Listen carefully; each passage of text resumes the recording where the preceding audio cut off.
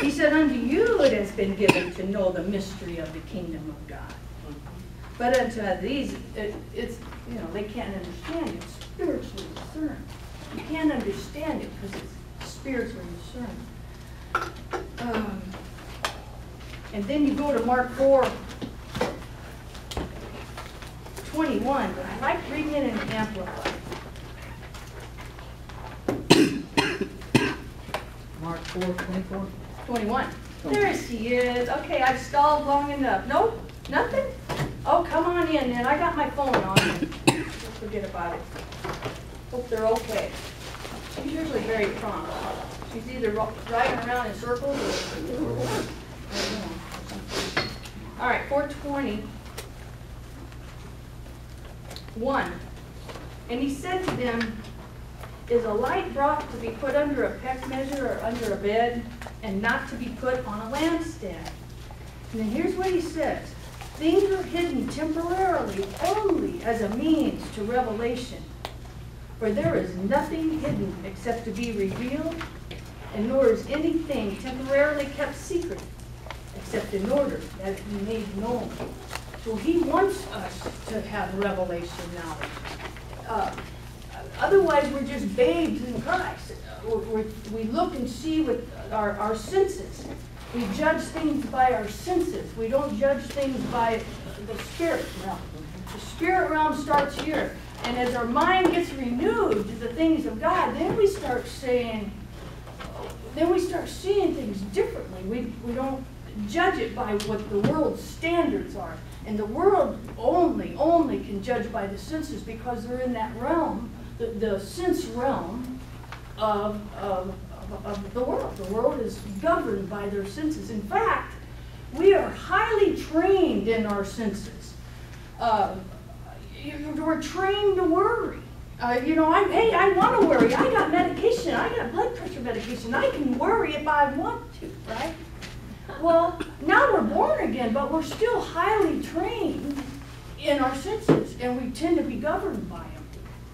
And so this renewing of the mind is what we, the switch over. And there's a struggle, there's a power struggle. There's a power struggle with that spirit stuff and the mind.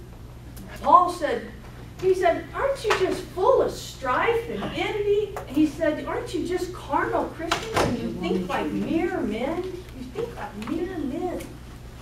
And that's intellectually. And he's calling Christians carnal and, and they think like mere men. How, how are they thinking? They're thinking with their senses.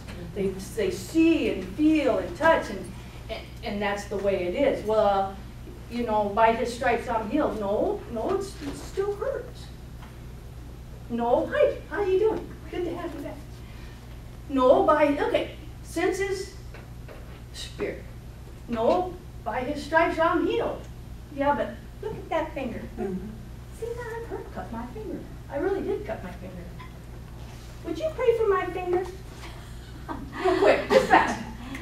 Lord, we stand on your word, you said you, by uh, your stripes we are healed, so I thank you for that healing. in Jesus' Amen. Would you pray, but did you see this? I think it's infected.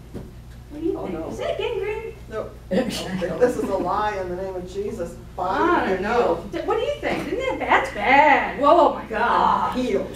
Would you pray for me? I already did. Pray, oh, really? Yeah. Lord, let the fullness of the Holy Spirit be upon her, let no be no doubt in her. Amen. She fill healed her. Amen. Hallelujah. Did you see how bad my finger is? See the Uh-huh. difference? Yeah. See it? You're double-minded. Don't think you're gonna get anything from the Lord. A double-minded man is unstable in all his ways. But it hurts. It's okay. But I hurt. By his stripes I'm healed. But I hurt. By his stripes I'm healed. Okay. By his stripes I'm by his stripes I'm healed. Oh, my mind's going, I don't know how to get this. It's okay, mind, settle down. I'm going to teach you this. You're going to walk down this path. It's called the path of health. It's called the path of healing. I don't know. This don't make any sense at all. Look at that. By your stripes I'm healed. Got it. Now my mind's in line with my spirit, man. We're in one accord. triune, one accord. There's, there's no struggle, you know? And now you can walk down that pathway and you start walking that pathway and you start saying, by his stripes I'm healed. Uh, he always causes me to triumph, you know? Am I always triumphant? No, but he always causes me to triumph. I will never, ever say anything that is contrary to the word of God.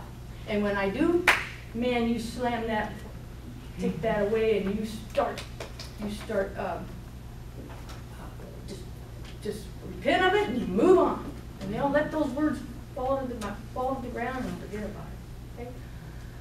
Donna, Yeah. I like to remind myself that I'm made in the image of God. Amen.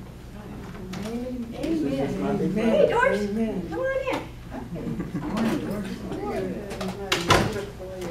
I have the mind of Christ. I have the mind of Christ. I like that. See, and that's it. Who said that? Did you say that? I have the mind of Christ, or did you say that?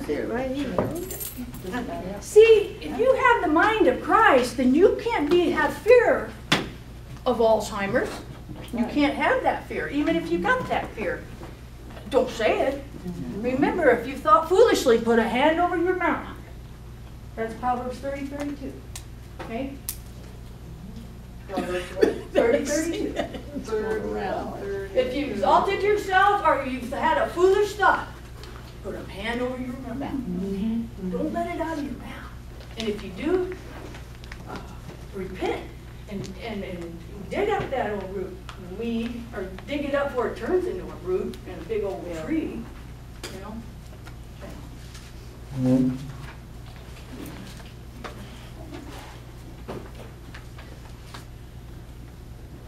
Excuse me, Donna.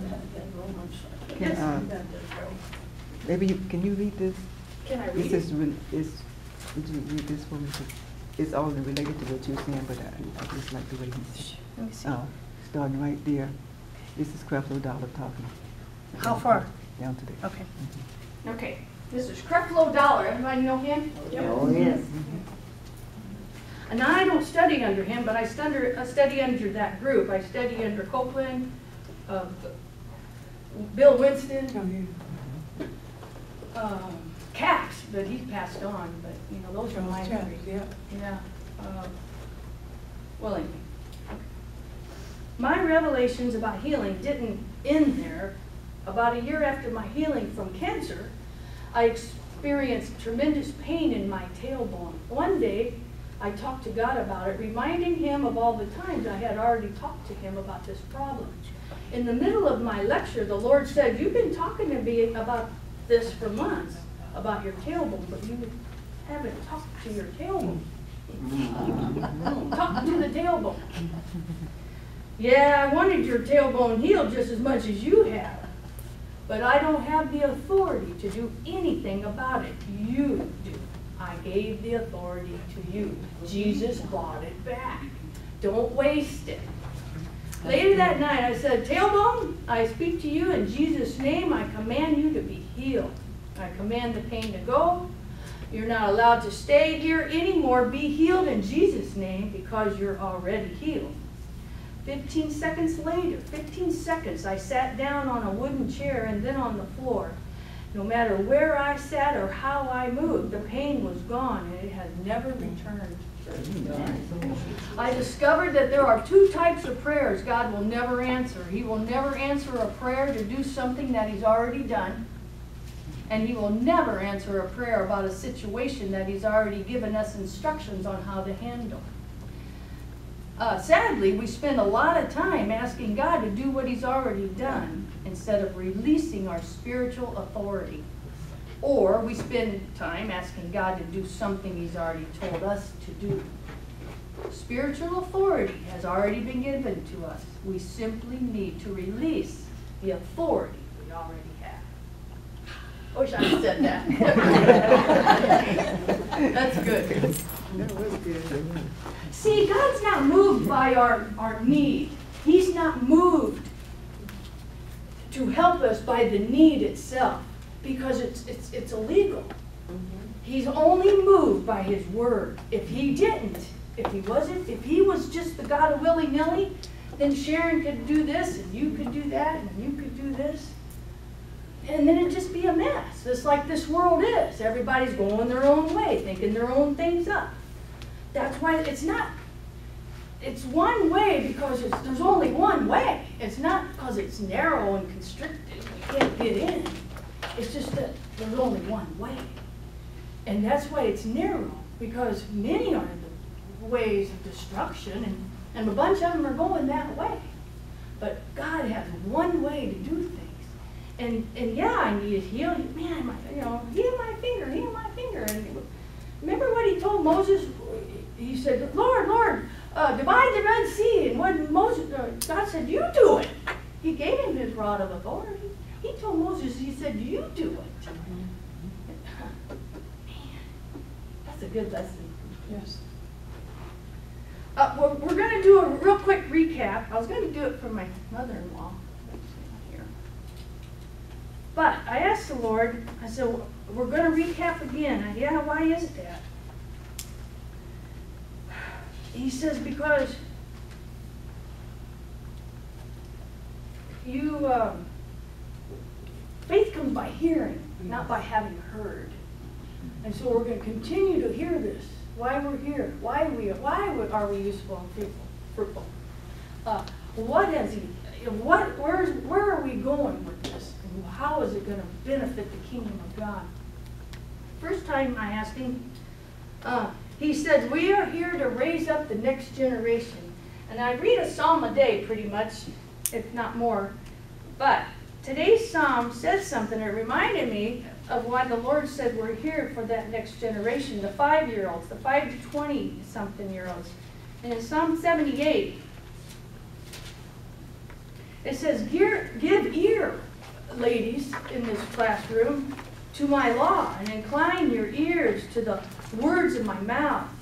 And I will open my mouth in a parable, and I will utter dark sayings of old, which you have heard and known, and our fathers have told you. We will not hide them from their children, showing to the next generation to come the praises of the Lord and his strength and his wonderful works that he has done. For he established a testimony in Jacob and appointed a law in Israel, which he commanded our fathers, that they should make them known to their children. There's one reason why he let, he gave that to Abraham. Let me, sorry. Yes, real close. Hang on. Yes, I'm real close, this bill, and sending them here. I have no idea. All right, sorry about that. Um, th- That was one reason why he, he let, he gave it to Abraham. It says so. He said, I, I gave it to Abraham because you're gonna teach it to your children. That's what he wanted to do. That's what he needed. He wanted, and we know for certain that Joseph must have known it because he lived on it for twenty years in Egypt before he got out of that prison and became prime minister of Egypt. And, and, and he lived on those two dreams and whatever his grandpa had taught him about God's faithfulness. We know he did, because, because he lived that love walk. He, he loved in Potiphar's house. He loved in that kingdom, I mean, in that prison. When those two people come down there, he said, it said that he served them. He served them. You know, it, he, there was a love there. So we know he, we know he walked the love walk because it lasted him for twenty years. And he became prime minister. He's, he was the head, he wasn't the tail, he was above only, he wasn't beneath. See, it's part of that covenant, part of that covenant, that, uh, the gospel that he taught Abraham, that you'll be the head, not the tail. He'll, you'll be above only and not beneath. And so, in, in other words, he taught his children, and that's what our job is, to teach our children the things that we know and the wonderful works that he has done for us, to continue it. So they don't have to relearn it when they get our age. You know, they'll be raised up in it.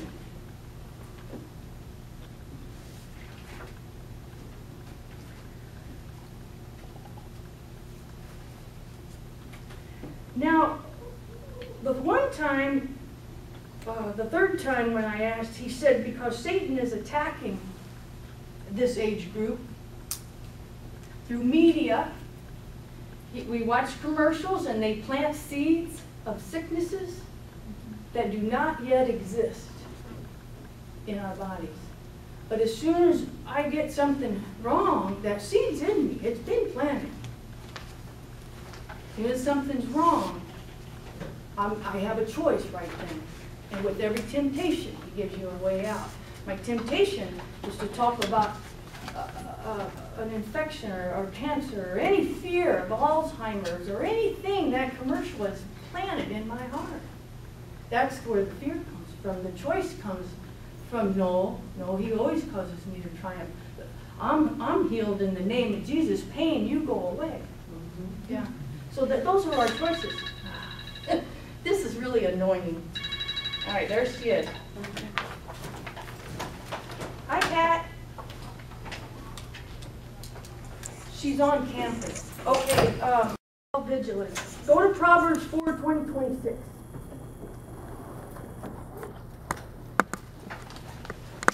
Proverbs 4,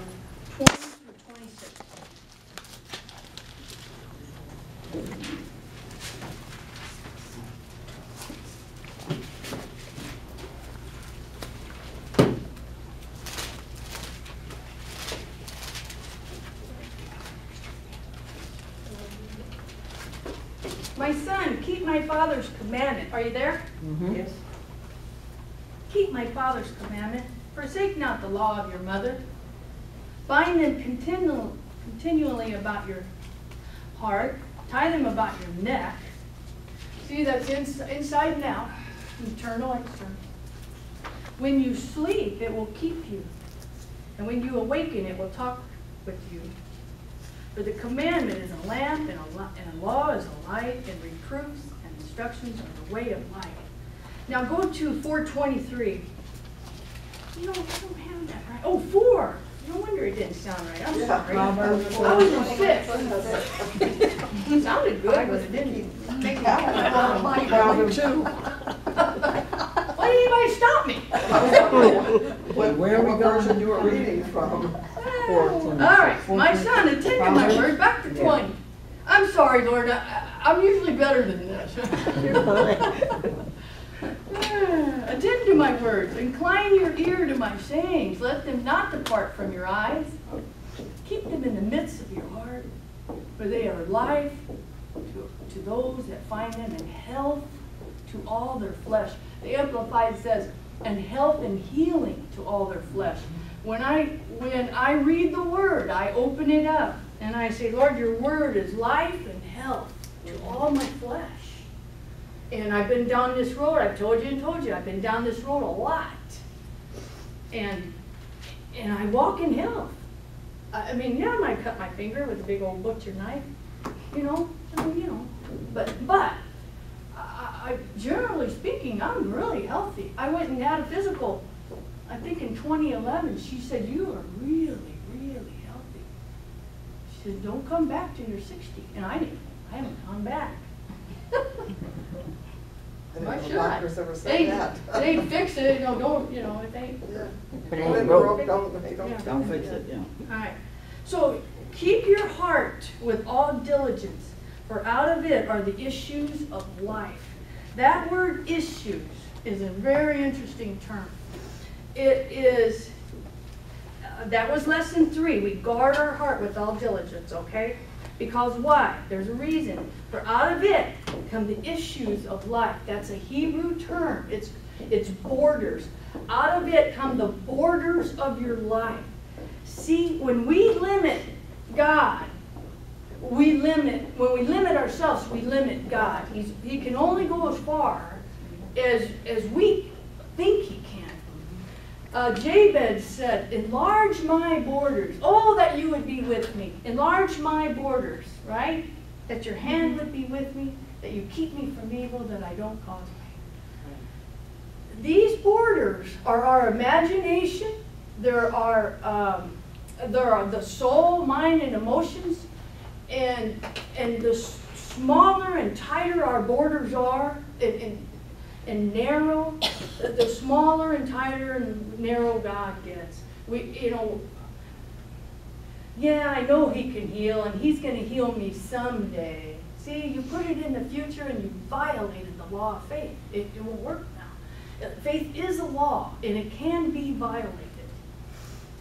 Uh, these borders, uh, Isaiah 54,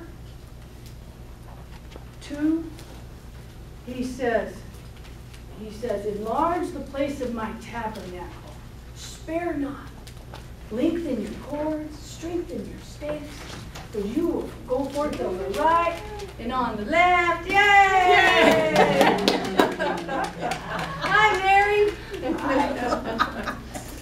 Well, I gotta introduce my mother-in-law to today's lesson. In what book? Well, I kind of, it's everywhere, so Okay, we're gonna skip around. try to keep up. You're one of them kind of teachers, she just skips all over. I don't know whether I like that girl. Write it down. See, that's why we guard our mouth, because our words will limit us, our very own words. Words are the most powerful thing in the universe. It's the most powerful thing ever known to man. Words created this planet. Words uh, created everything you see. It's from God's word. He said, Let there be light.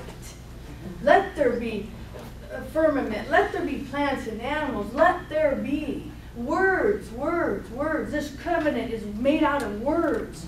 His word is above his name. It's word. He left it to us. There's 800,000 words in this Bible, and it's a manual for life. It can teach us. We don't have to live and learn. We can read and learn. And it, it, it teaches us. Somehow, he was able, in this little bitty book, to govern man. I mean, uh, imagine that. Have you ever seen a book that lasted, uh, its, um, uh, its usefulness over maybe 20 years, maybe a cookbook, you know, maybe.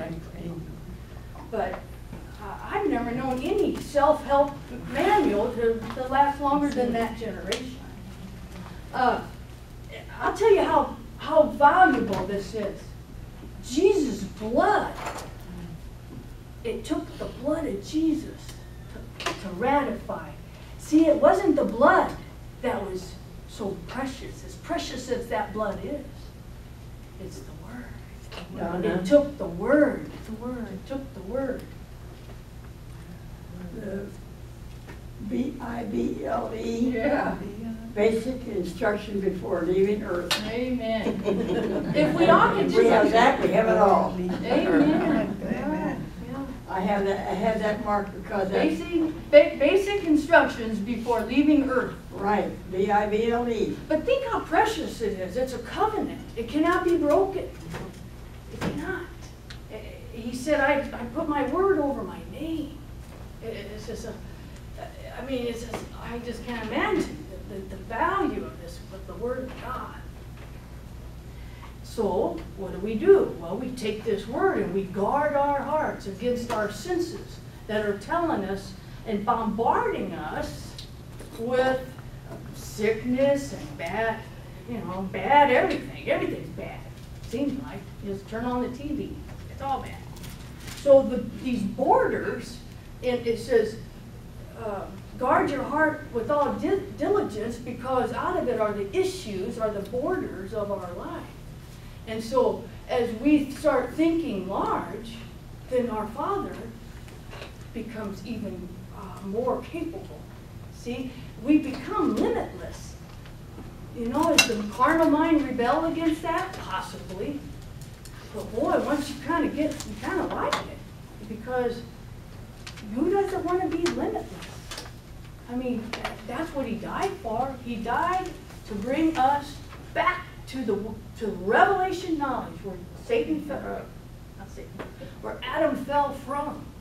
And he brought us back up, and that's where he wants us to stay and be, and that's why we're in this class to grow in that revelation knowledge. That's why we guard our hearts with all digi- digitally, diligence. So our words will limit us. If your confession or your words are contrary to God's, you are no threat to Satan. He's got you boxed in. In fact, you got yourself boxed in. like that little letter I just read. Uh, he could say, oh God, help me, I gave you the rod, I gave you the power, what more do you want? You know, oh, Sharon needs more power. Well, I gave her myself, you know? He brought us back to the authority, and we have trouble with that authority. We just want to pass it over on to God. And, and don't get me wrong, we do go to that throne room and commune with him. I'm not just, you know, we don't just push him aside. Oh, no, we go there and we talk to him, and we, we get our marching orders, and we find out, what we get that revelation to, to know what to do next. Huh, Pat? You bet. Well, I'm glad you're here. Thank you, darling. All right. So our words will limit you. If your confession or your words are contrary to God's word, you're no threat to Satan. If you speak limitation, you will be limited. He always causes me, no, he sometimes causes me to triumph. What is that? sometimes. so He always causes me to triumph. So if you speak limitation, you will be limited. So you limit God by your own limitations. Joshua 1 8. Joshua 1 8. Does anybody know that? These words should not depart from your mouth. Right? Meditate on them day and night. Joshua 1 8. Meditate thereof day and night, that you may observe to do according to all that is written. For then you shall make your way prosperous, and then you shall have success. Who makes yourself prosperous? Who does it?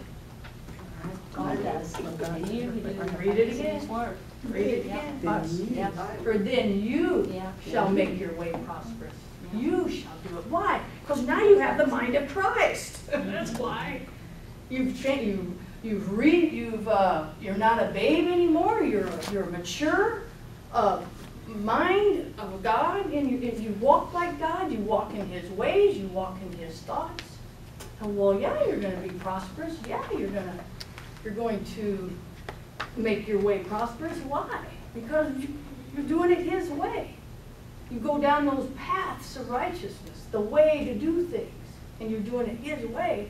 You can't fail. You can't fail. Okay? All right. Now, lesson four was on hope. Turn to Romans 15:4 and Romans 15:13. There's a reason why we study all these ancient books that were writ- written, uh, you know, by Moses. I mean, why do we why do we read this book? Why do we study it so much? Why is it pertinent to our life? Because somehow God God put in this Bible the instructions, like Pauline said, for man. It's in here. I love reading the King. I don't like it when they're, you know, when they're killing babies, but I'll tell you what, man, when they're on, they are on. And when the Kings were, were, uh, the, good- the good ones were, were on, I mean, they, they could, you couldn't stop them. God made their enemies to be still. I mean, you, see, we're the kings. We're, you read, you can find yourself in the book. I find myself in the book all the time. Just open it up, you'll find yourself in the book. You're in there. He wrote it for us. It's our instructions. Look at fifteen four, Romans fifteen four. For whatever things were written in earlier times were written for our learning, that we through patience and comfort of the scriptures might have hope. Now remember, this hope is not the world's hope. The world's hope says, well, I hope so. Now that, now you're looking to be lucky. You can't, it's not that kind of hope.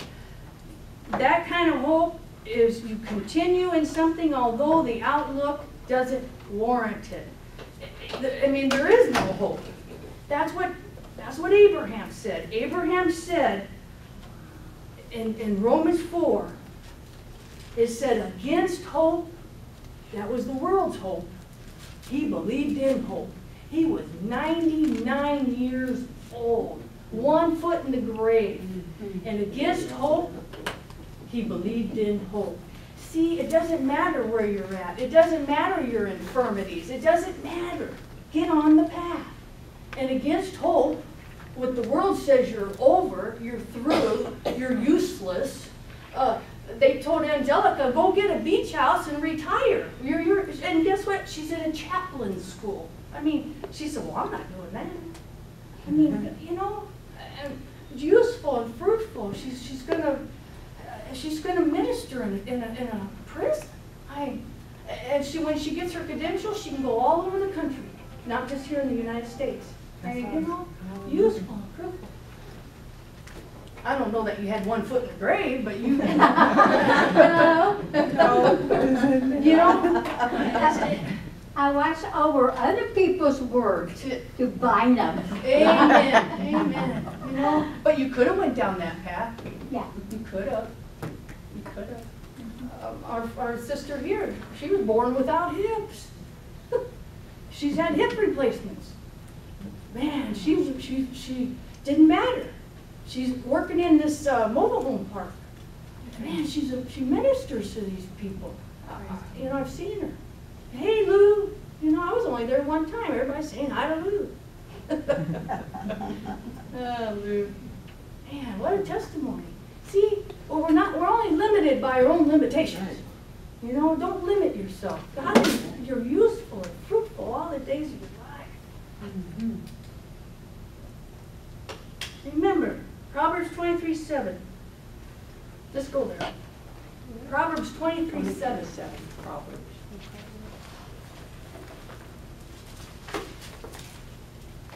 Are you there yet?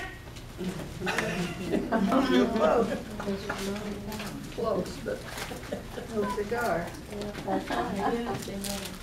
For as a man thinketh, so is he. That's why it's so important to renew the mind to the ways of God. He always causes me to triumph. Do you have, anybody have anything that they like to say? I can do all things through Christ who strengthens me. See, as a man thinketh, so is he.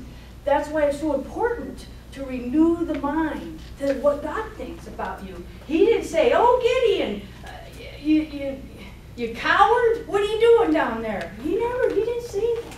He said, "A mighty man of valor." And what Gideon say? Well, what are all the miracles that we heard about? What's going on? You know? He said, "Well, I'm about to show you. That's why." You know? Uh, Lois, a mighty woman of valor. I mean, she's, she helps, she helps people that can't help themselves. In two weeks with Sandy. I mean, you know. Hats off to you, girl. You know? You know, there is a book that the men think Hmm? There is a book called As the Men Think of. As a man thinking. As a man There are a bunch of them. There's actually secular books. And, and it- he's a psychiatrist, Mm-hmm. And it, it, and he is a Christian, but as a writing, it just comes through a, his profession, and it's so, so powerful, But- powerful. Uh, they write secular books. Think and be rich. Huh? I mean, even the world knows as a man thinketh, so is he. Renew your mind. Because with the heart man believes unto righteousness, and with the mouth confession. It's the formula. With the heart man believes under the right way to do things, and with the mouth is what where the confession is made. Um, with the mouth. Okay, you never rise above the level of your confession. So whatever you're confessing, I can't do it, I can't, I can't, I can't, well, you won't. Okay, you only rise above the level of your confession. But it is a hard issue. The renewing of the mind, Yeah, because you can speak the words, but not believe it in your heart. I, So it's, it, it's a coming together. it- it's a, it's a, a process. Mhm. It, it- it takes, and that's where the suffering comes from. Jesus said, uh, you do this, and after you suffer a little while, I thought, well, what's that? Well, he doesn't mean you're gonna be persecuted. The suffering's here. Doris says it. The battle's in the mind, don't you, Doris? Yeah. You always say that. The battle's in the mind. And it's in the mind.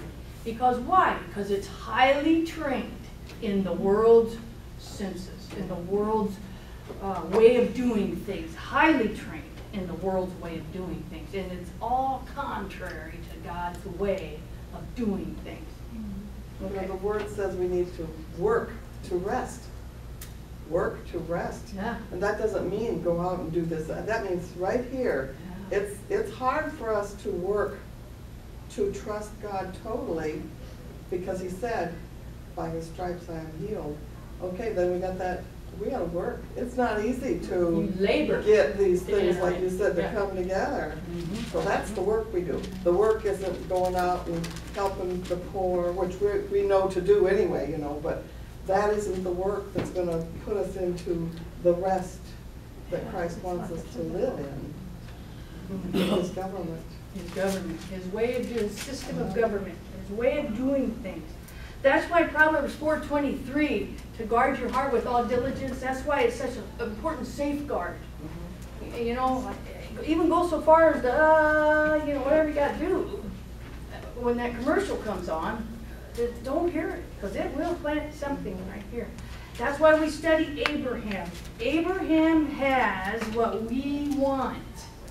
He called those things that were not as though they were. He says in Romans 4, let's look at that, because that was all part of hope. We studied Abraham very seriously, because he is, he's the one that believed God. He believed God. He called himself Abraham, the father of a multitude. How many kids you got? Well, I, I got one, but, you know. Father of a multitude. See, he wasn't afraid. Says here, 17. As it is written, I have made, no, I am gonna make you a father of many nations. I have made you. I am gonna make you. God never put anything in the future. That's why he said, Gideon, mighty man of valor, I have made thee a father of a multitude. Mm. See, I- he, he,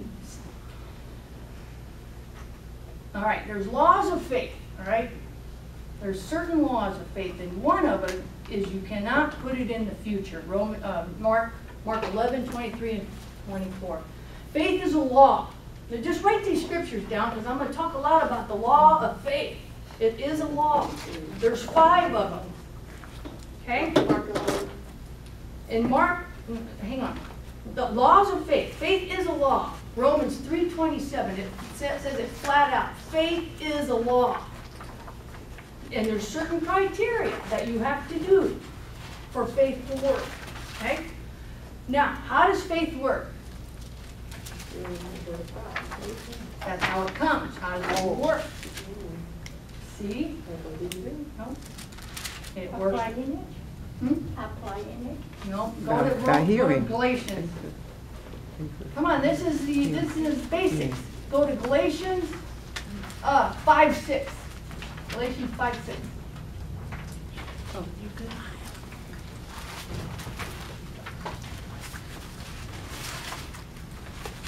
Anybody got it? Go ahead and read it. I'm still working on Mark. Ah, huh? It works by love. Faith works by love. Yes. See, it comes Five by, and six.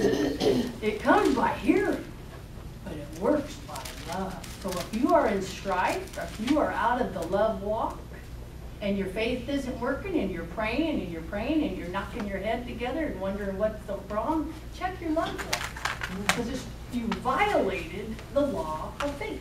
It works by love. See, that's why we study hope. This, now get this scenario. Get this scenario. Faith works by love.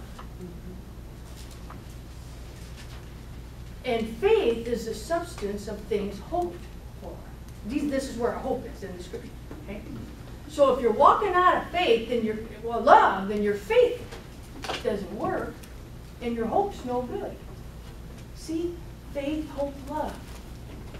If you have love, your faith works. If you don't have love, your faith doesn't work, and hope's no good. Faith, hope, love, these three. But the reason why the greatest of these is love. Because faith doesn't work without it, and hope's no good with it. And there you go. So you've got to have this faith walking. Okay, so enough of that. All right? Up, you have to renew the mind to God's will, Romans 12, 2. You have to say it, confession or speak it, Hebrews 10, 23. And it's not in the future. If you ever say, I'm gonna be healed someday, you have violated the law of faith. A law is something that has a, a a predictable result. And if, if, if you're, if you, see, that's why confessing one thing and saying and do, and asking God for another, it's against the law, because you're double-minded. See? Okay? And that's, uh, you gotta say, oh, future, that's eleven, twenty-three and twenty-four. Okay, that was that one. Remember he said you gotta fight the good fight of faith? That was First Timothy six twelve. Well, the good fight of faith is keeping your mouth shut. You know, just keep your mouth shut. You don't have, remember what mom said, if you don't have anything good to say, don't say it. It's true. It's true. How did she know what my mom said? You know that saying, sticks and stones may break your bones, but words will never hurt you? Not true. True. Words will kill you. Your very own words. You are the prophet of your own future. It's true.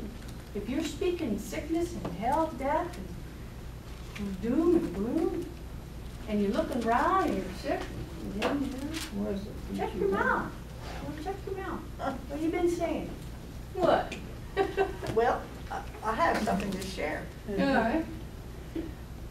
I have the daily prayer, and then the daily prayer, there was a lady who said that they, her teacher, like you, for instance, gave, to bring these bracelets out. And she's teaching them that when they think of something negative, they have to move that bracelet to the other side of their arm. When they think of something positive, they gotta put it back over here, but it's mostly, mostly to practice not saying anything negative. Well, the lady proceeded to say that she didn't take the bracelets, but first of all, because they were ugly, and she was already positive. That's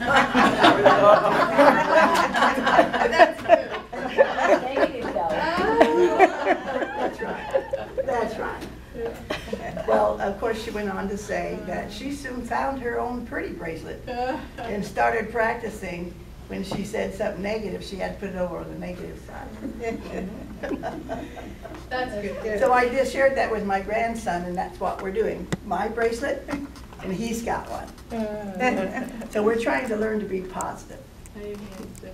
All right. That's awesome. Sorry. I interrupted. Good thought. Okay, so why do we recap? Why am I redoing this over and over and over? It's because it's a reminder that faith does come by hearing and not having heard. So we just keep telling each other these things. We keep telling and keep telling them. Now, last time, we turned to 1 Corinthians 1, 26 through 31.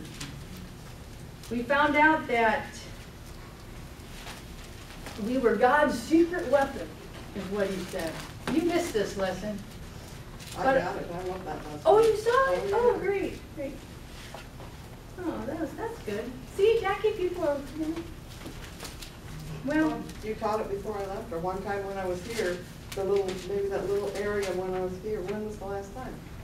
well, we were gone to Arkansas. I You were don't here know. last No, you I weren't. it was first, no, Neither one of Well, us. you taught one, I got, I got, where God's secret weapon once here Oh. was Oh, terrific. oh, that's Oh, right. well.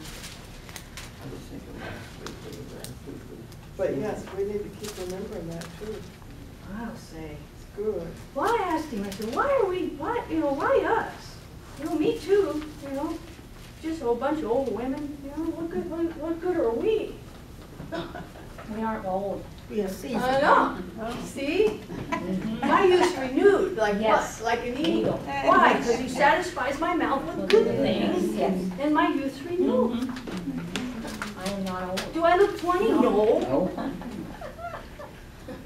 So? I love that. But how's he satisfy my mouth with good things? He, he, he shows me things. My ageless scripture, everybody's got one. Mm-hmm. Man, I got, I got two pages of, of good things that I talk about, put my hair, in my hair. I, I talk about this stuff. I, I say it and say it and say it, and it's part of my, my, my spirit, and it, it permeates my fingers, and it comes out my mouth, and God get, lets me teach it. Why? Because I've been walking it. I've been walking it a while. It's kind of cool. All right, one thirty. First Corinthians one. Twenty-five. One twenty-five. Twenty-five. Mm-hmm, One twenty-five. First Corinthians one twenty-five. Got it? All right. I said, all right, Lord, why are you, why, are why us? He said, because the, because the foolishness of God is wiser than men. Now, this is the natural man. Mm-hmm. And the weakness of God is stronger than men. For you see your calling, sisters, that how not many wise among you after the flesh, after the census, is 26, and not many mighty or noble are called. But God has chosen the foolish things of the world to confound the wise. And God has chosen the weak things of the world to confound the things that are mighty. Listen to that in the, in the Amplified. This is because the foolish thing that has its source in God, that's us, is wiser than men, the natural man. And the weak thing that springs from God is stronger than men. Remember what he told Gideon? He said, You got 30,000 men. That's too many. He used 300 and defeated the enemy that had him hiding in that wine vat. 300 men. Foolish.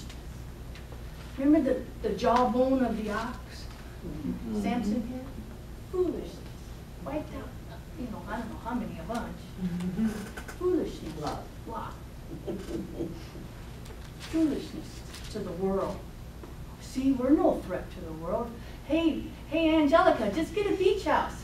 Don't do nothing. Relax.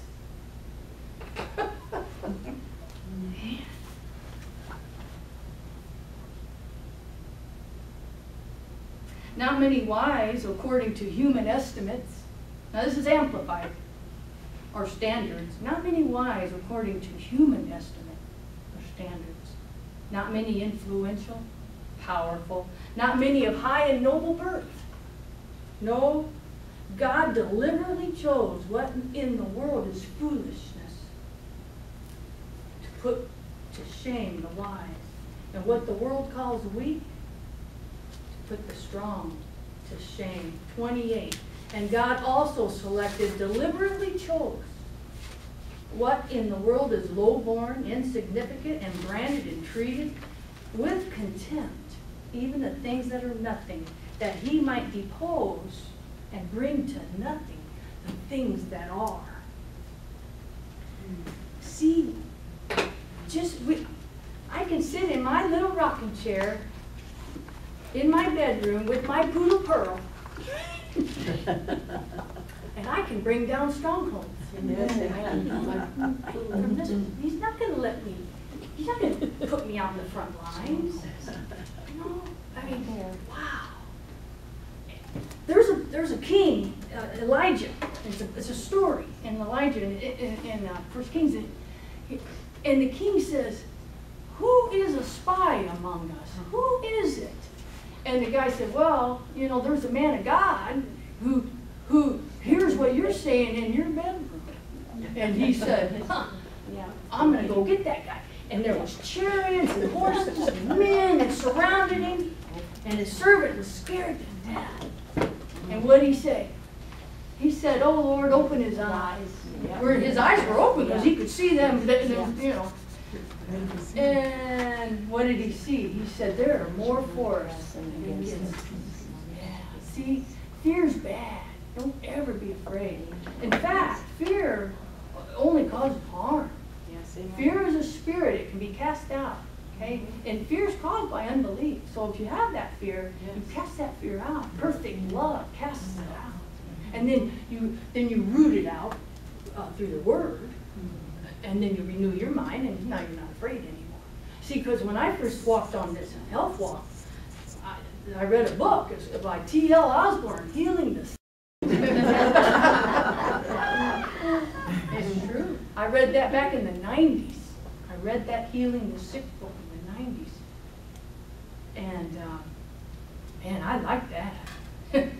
You know, I was getting old. I was forty. I thought you were twenty-nine. Pretty big. I don't know who said it, but I like that. All right. Okay, I have a handout now. I hope. Now to today's, uh, to continue this, uh, this. We're gonna do some warfare. Go to Ephesians chapter six and Ephesians chapter one and Ephesians three.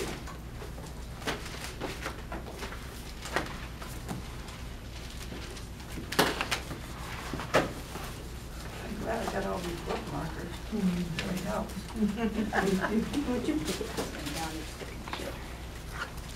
Would you pass those that way? And you pass those that way?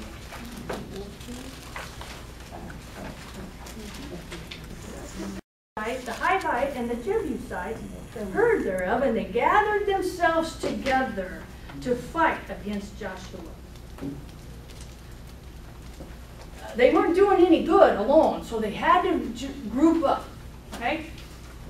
Now, we know probably by heart Ephesians 6. The armor of God. How many times have you studied it? A lot. A lot. A lot. All right. There's it. And part of that armor is the sword. What is the sword? Anybody know what Word of God. That's our, that's our weapon. It's the weapon of our warfare. I think they even sing songs about it. I forget. Weapon of our. Okay. All right. So here we are in our rocking chair. Whoops.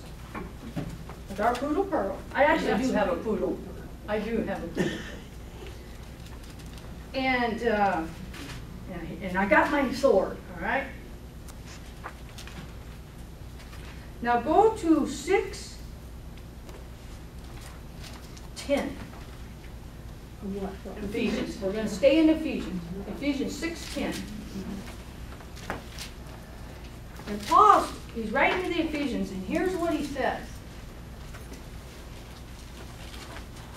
He says, finally, brethren, be strong in the Lord and in the power of his might. Okay? Put on the whole armor of God. Why? So you can be able to stand against the wiles of the devil. Paul tells us in Romans, we're not ignorant of his devices, right? All right. Why? Verse 12.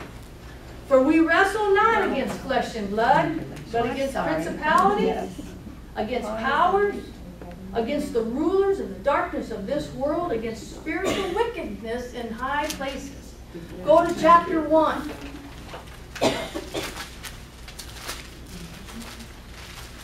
Nineteen. It's a wonderful prayer. I pray it, uh, I have five or six prayers and I pray them, uh, consistently in order, and this is one of them. But this is what I want you to see. And what is the exceeding greatness of his power toward those who believe? We're called to be believers. Now we have faith in these things, but we believe with our heart. With the heart, man believes unto righteousness, and with the mouth comes out our faith, which is confession made. Okay? And what is the exceeding greatness of his power toward us who believe? This is that same power that he used on Christ when he raised him from the dead. That power is in us. Okay? Now go to three, chapter three. Three twenty. Now, unto him who is able to do exceeding abundantly above all that I ask or even think, according to what? According to the power that works in us. All right? Now, these ites, these ites had a, a, a spirit behind it. Back then, they didn't wrestle against flesh and blood either. Mm. They, they, they, but they did not have what we got. Jesus defeated the enemy, the mm-hmm. spiritual enemy behind these ites, all right? Mm-hmm. These ites do not exist today. There might be some over in Iraq, uh, Israel somewhere, I don't know. But the spirit that was behind these ites mm-hmm. still exists today. Now, when you're in your bedroom and wherever you pray, now, you're going to learn about this sword and you're going to, we're not ignorant of his devices, right? We are going to find out who's behind the turmoil in your neighborhood, in your family, in yourself, and you're going to be able to speak more, um, let's see, I got it. You're going to be able to speak uh, more um, effectual, effectually. Remember James? James said in 5:16, the fervent, effectual prayer of a righteous man. Of what? Much. Amplified says makes much power available, makes much power available, dynamic in its working, dynamic, dunamis. Pastor Brown taught us, dunamis power. That's that power that works in us. You found it in Ephesians. Ephesians is a mighty, powerful warfare book. Read it. It's about warfare. And it'll teach you warfare. The new Secretary of Defense, he's a, he's a, uh single man, never married, and he studies war. He studies it. They call him a monk. And there's a lot of other things they call him. But the thing is, is he studies warfare, and he's good at it. Because why? Because tactics haven't changed. He studies it back into the Romans and boom, back in there and, and, and everything else. And he's always one step, step, step ahead, always one step ahead. Okay? That's our Secretary of Defense. Wow. That's what we are. I didn't, didn't know that, ladies, did you? Oh, No, he's an wasn't amazing man. Just nobody not now. All right. Now, now as you study the Old Testament, you will begin to see the characteristics and tactics that are used by the enemy. We call them generational. Remember that? Generational curse. All right? Yes. Why is that? Because there's a familiar spirit. Remember that mm-hmm. term? Familiar spirit? Well, it's a night. And they've been around a while. It's not because they're so smart, it's just they, they've been around a while, and here we are just gumping along, and we, and we gotta learn warfare all of a sudden. See? But they've been doing it since biblical times. But God gave us manual. See? And He's showing us this warfare. Now go to the Jebusite. Now the Jebusite is worry, anxiety, and emotions. That's what the lesson three was about. That anxiety. You see, though, that's why you guard your heart with all diligence. See, so personally, uh, you can use that sword, you know, to guard yourself. But, but, uh, like Hebrews uh, six said, we are going to go on from the basics, and we're going to start learning this warfare, and we're going to be effectual. Why? Because we're not ignorant of his devices. And don't forget, that's why you don't get mad at that neighbor. It's not the neighbor. You pray for the neighbor. It's that spirit behind the neighbor, all right? But I, I gotta come back to this Jebusite. Now, this Jebusite, uh, this spirit creates worry, anxiety, and tries to obscure your vision, okay? Mm-hmm. Which in turn obscures your revelation knowledge. He attacks the mind with negative thoughts. Okay? Thoughts that affect people emotionally. The Bible says that he didn't give us a spirit of fear, but of, of power, Love, love, and and a sound mind. A sound mind is a mind that is full of the Word of God, okay? So when you have a sister uh, in, in Christ, and, and you see they're having trouble, you know what's getting to them. There, there's a, there's a, there's a spirit behind that. Now, are they possessed? No.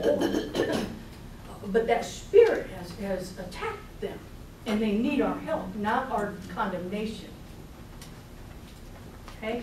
Uh, those thoughts affect people emotionally. The main objective of this Jebusite now, now remember, I'm not saying these are people.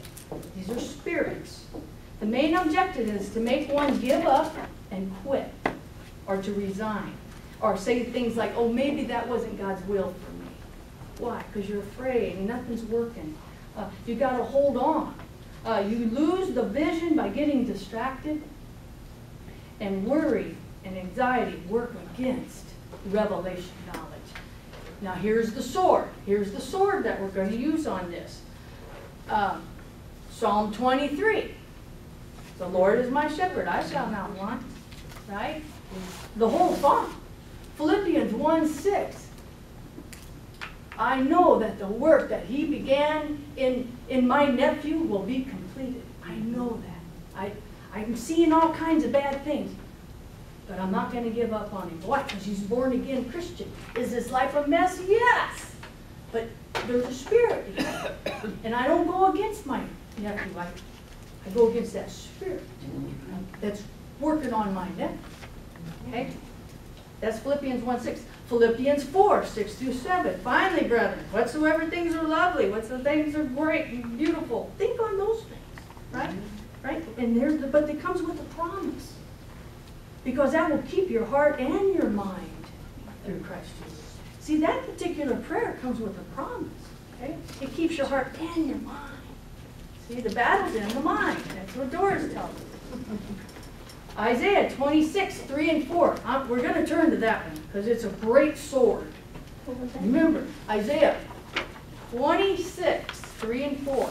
This is an amazing sword. The sword, the word, remember what Jesus did. He defeated the enemy every time by his words. And what he said, He said, I only say what the Father says. That's all I'm going to say. 23, 3 and 4. And the great waters, oh boy, I hope I got that one right. Twenty-three or twenty-six? That was on twenty-three. All right. Thou shalt keep him in perfect peace whose mind is stayed on thee. Is that famous? Everybody knows that one, right? Because why? Because I trust him. I trust in the Lord forever. For the Lord God is everlasting strength. Isaiah 41, 29. Isaiah 41, 29. 41, 29. Famous, famous scripture.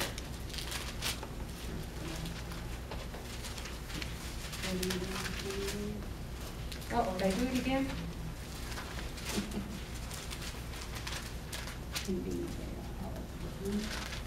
That don't look right, does it? No. Uh, the eagles, I bound up with eagles. They're not grow weary and not faint. Forty, thirty, Forty, thank you. the last. I got that one down wrong. Uh, it's first, chapter forty. Thirty-one. But they that wait on the Lord, what, shall renew their strength. They will mount up with wings like eagles. They'll run, not be weary. Shall walk, not faint.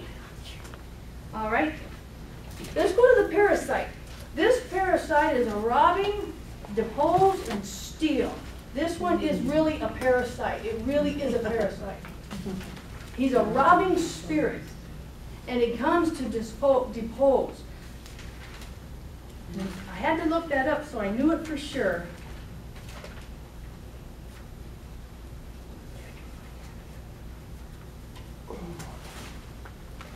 To reduce from a throne or other high station, to divest of power, to dethrone, parasite. He's a robbing spirit. It comes to steal the things that you have gained ground on. It comes to gain back that ground. Uh, some call it a re- retaliation spirit. And here's the sword, Philippians 1 6. I know the work that you began in that person will be completed. Okay? So when you see that your, your Christian brother or sister is losing ground, you, you, see now these are just a few examples. You find your own sword. But know who you're dealing with. Know who the enemy is. Okay? The sword is also Deuteronomy 20, or rather 32, 35. Jesus, or God says, vengeance is mine. We are to pray for our enemies and those that despitefully use us. Uh, remember, we don't fight against flesh and blood. You pray for your enemy, but you take dominion over that spirit that's mm-hmm. causing the to mm-hmm. happen. All right, Hivite, the Hivite. These are kind of like wolves in sheep's clothing. Deception, get rich quick schemes. Mm-hmm. The name literally means wicked. Not working, check your love. It's called strife. If I have strife with my sister, I'm out of harmony. I'm out of, in fact, I'm breaking the covenant of mm-hmm. love. Strife is, you check it. If you have any strife with a family member, anything, man, and, and nothing's working, yeah. All right. And here they are. And, and guess what? Nothing's working. You know, they're, they've lost the power. Miracles have gone. That's what Gideon said. Where are the miracles? And what did he say? He said, well, you guys aren't listening to the word of God. that was his answer. You guys quit, quit listening. What happened? Well, you got ate up by an enemy. And so that strife is, man, it's, it's bad. You know, the church splits. Uh, man, it, marriages, you know, everything. Every, everything.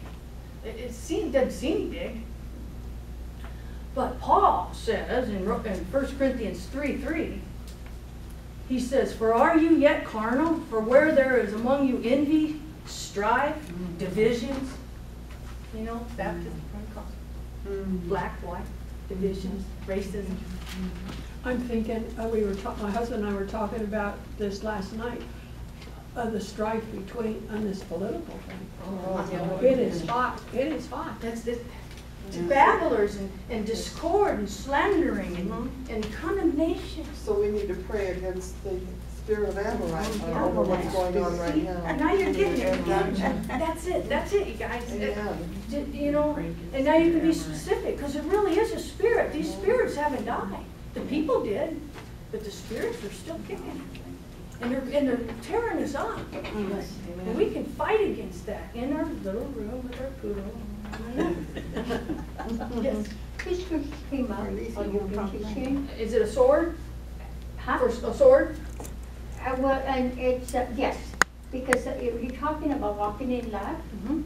and in Proverbs, uh, mm, let's see, we were just on it, six, uh, six to uh, nineteen, it talks about the six things the Lord hates. Yes. Yes, Sarah or the abomination to him, a proud look, a lying tongue, hands that shed innocent blood, a heart that devises wicked plans, feet that are swiftly running to evil, a false witness who speaks lies, and who, and one who sows discord among the brethren. That's And that actually is hard that, that. I got that. That, that we search ourselves, because you know what? Eh, and, and the other one was Second Corinthians ten, three to sixteen, and it's talking about bringing down every stronghold and casting down every vain imagination that exalted itself higher than the knowledge of God. See, But I, then I, it I talks- both. But then he talks about the obedience of mm-hmm. God, Obedience. then we conquer, Absolutely. then we conquer. See, that's what's so great about this group. Well, You know, we, we're not there anymore. You know, that's why he's so interested. Our Father is so interested in us. We have been in the ground, battleground. We have exceeded. We have excelled. Uh, we have gone on to higher uh, revelation knowledge. That's what he told us in uh, Hebrews six, one, two, and two, he, he said, forget all that basic stuff, laying on of hands and baptisms, I mean, uh, you know, he says, let's move on, let's, let's fight, let's do the good fight, let's do the good fight. And those are, those are good scriptures, find, find your own sword, but they're swords and you can, you can get pretty good at it, Doris. You you know, and, and I think it's in Chronicles, Second Chronicles seven, I think it's seven chapter, if my people. He calls you the way he wants you, you know? He doesn't tell you, see, you guys know who you are. My mother-in-law knows who I am, you know? But God's calls me who he wants me to be. And by, you know, God, I'm gonna say I'm perfect, lacking nothing. You know what? Next thing you know, you get to thinking that way. Now, if you exalt yourself, Proverbs 30, 32 says, are you thought evil, put a hand over your mouth, you know? I mean, there's limitations to this. But, but you guys are there, and you know you are. And now we got, now we know the weapon of our warfare. It isn't carnal. Not carnal. Mighty through the pulling down of strongholds. Where was that? It's in uh, Second Corinthians ten, it starts at three to six. All right, so just a few words about this.